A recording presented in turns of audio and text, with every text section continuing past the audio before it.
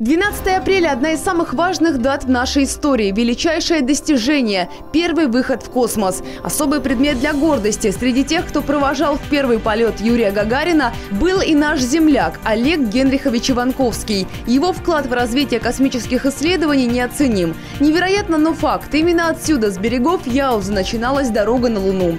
Подросток Олег Иванковский приходил сюда со сверстниками, а через 20 лет космический аппарат прилунился на спутник Земли.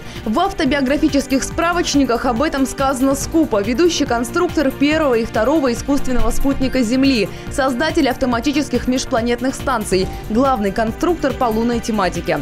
Каков его масштаб в космической истории? Знаменитая фотография. Ивановский закрывает люк корабля «Восток-1» перед стартом Юрия Гагарина.